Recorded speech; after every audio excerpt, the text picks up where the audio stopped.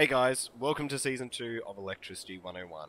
I just wanted to thank everyone for the support and feedback that I've gotten on the channel so far. It's been really, really awesome and very helpful. Uh, I'm going to be making some changes starting here in season 2 in an attempt to make the videos more to the point and also try and shorten the length of them as well. What we're going to do, we're going to have a brief look at what the circuit does, then we'll do a build of the circuit, and then at the end of the video, I'll leave a few important things for you guys to note about the circuit. So, without further ado, let's get into it.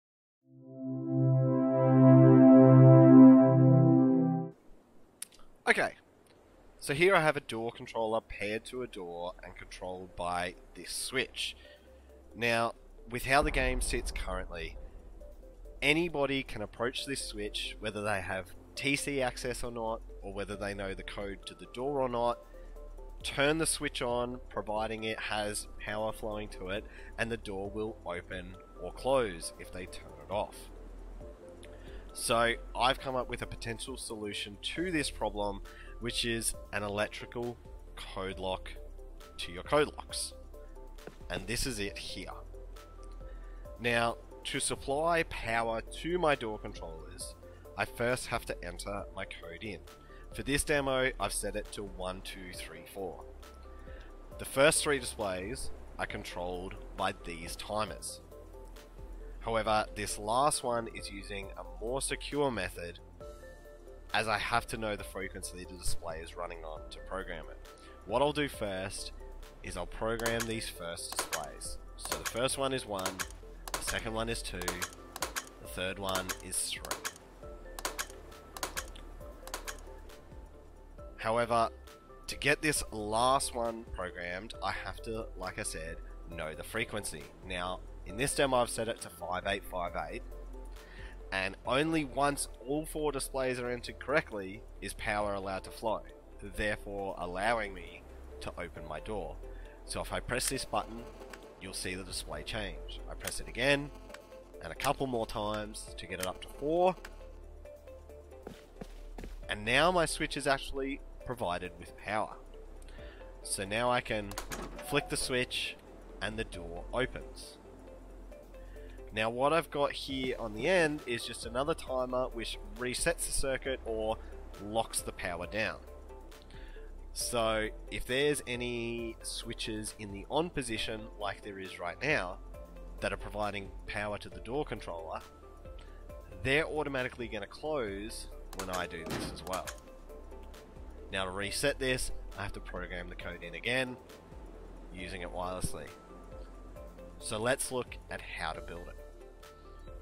Okay guys, so if you're looking at building this yourself, you will need 4 solar panels, 3 root combiners, 5 electrical branches, 3 splitters, 4 timers, 4 counters, 3 AND switches, an RF receiver and an RF transmitter. Now, I've already gone and laid them out on the wall here. You can copy this layout if you want, or you can try a different layout to whatever suits your needs.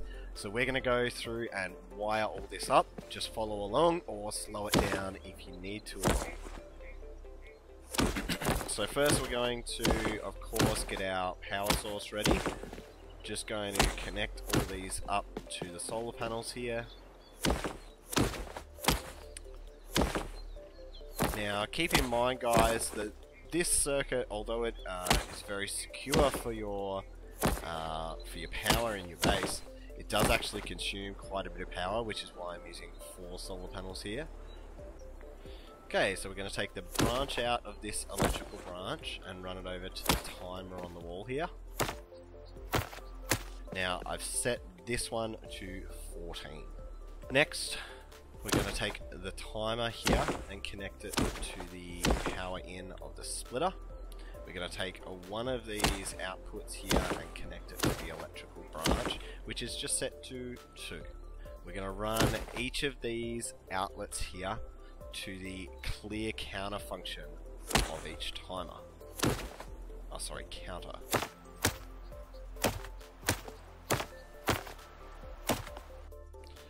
Next we're going to take the power out of this electrical branch and run it to this electrical branch here.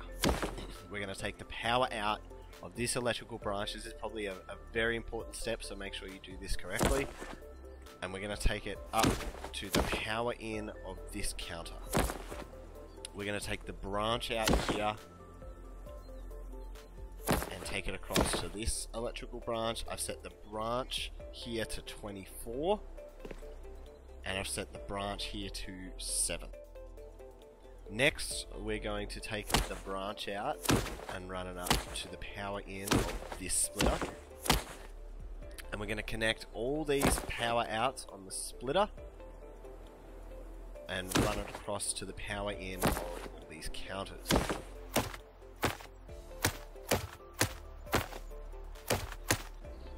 Next I'm going to take the electrical branch power out here and run it up to the power in of this splitter. I'm going to take one of these power outs just like I did before and put it into the electrical branch here. And then each of these power outs is going to run straight across to these timers here.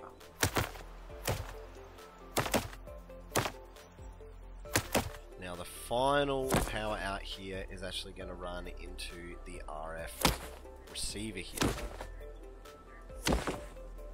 Alright, so we're pretty close to being done. What we're going to do is hook these timers up to the increment counter each of their corresponding counters.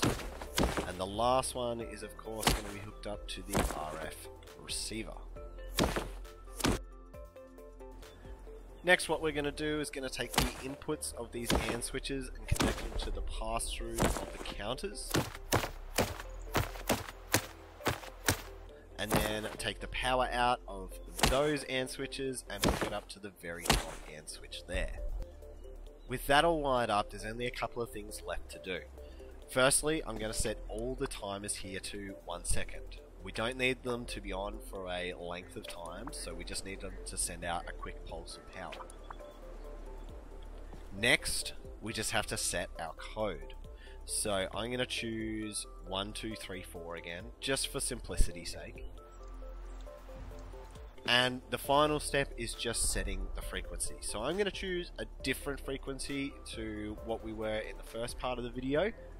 So I'm going to get my transmitter here, hold down right click and just set it to 1, 2, 3, 4. Very simple.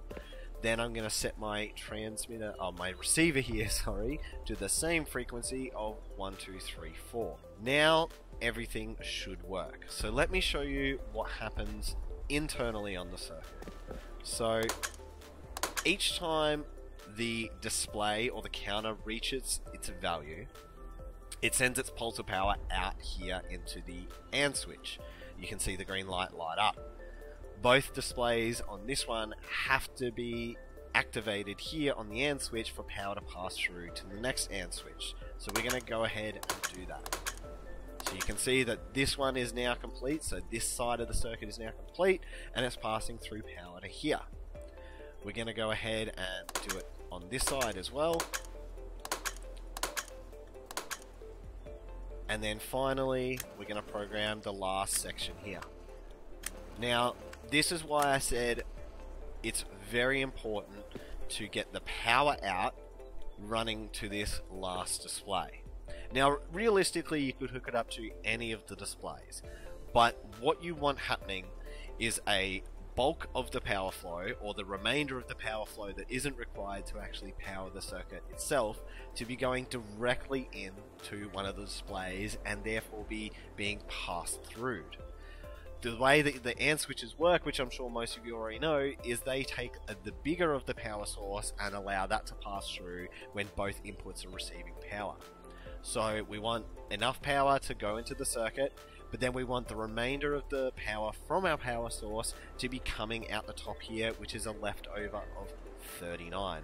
This is going to be the rest of the power going to all our switches powering our door controllers. Alright guys, if you made it this far, I really appreciate it, and uh, we're just going to talk about a couple of things uh, to note on this circuit.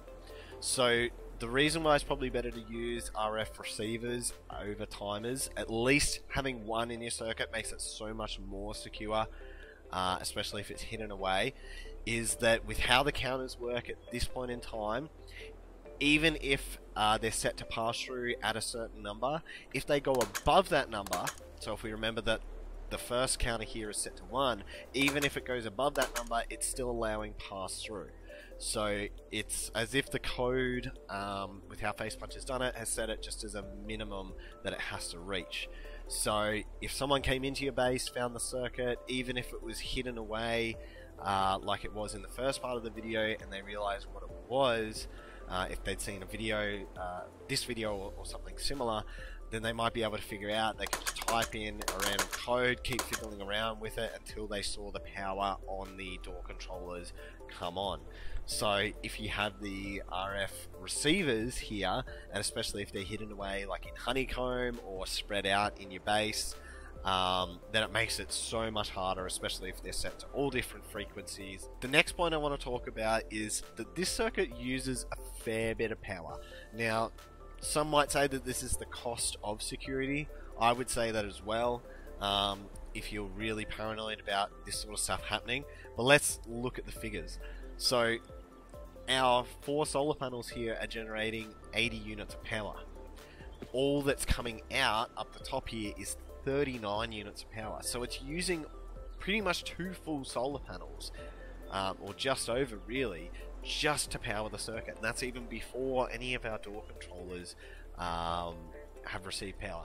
Now, this circuit is really only designed for security measures. So things like door controllers um, and anything else they might add later on as well.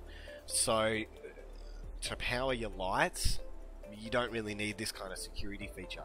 So there's a couple of options. You can either have more solar panels or wind turbines or whatever you run at on your roof and they can be connected uh, completely separate or you can insert an, another electrical branch here uh, and divert some of the power away because you may not need all that 39 units of power to power all your door controllers. Um, that's a lot of door controllers really.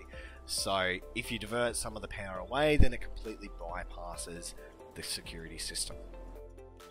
Alrighty guys, that is going to do it for this episode. If you have any comments or questions, then please hit me up below in the comments. Really appreciate any feedback you guys have, and I love responding to all your questions uh, and your comments in general.